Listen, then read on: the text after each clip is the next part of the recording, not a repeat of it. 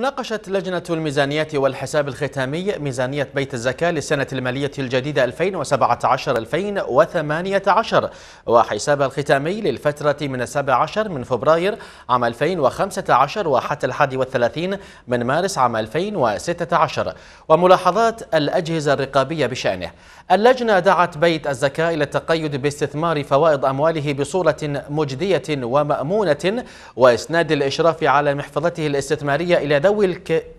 إلى ذوي الكفاية والخبرة. رئيس اللجنة النائب عدنان عبد الصمد أكد أن اللجنة سبق وأن أبدت تحفظها على استمرارية استثمار الفوائد المالية المتحققة من معونة الدولة له والبالغة. نحو 13 مليون دينار كويتي بدلا من صرفها للمستحقين. وداعيا بيت الزكاة إلى التقيد بتلك القواعد وأن يتم التدقيق على المحفظة الاستثمارية من قبله هو وديوان المحاسبة.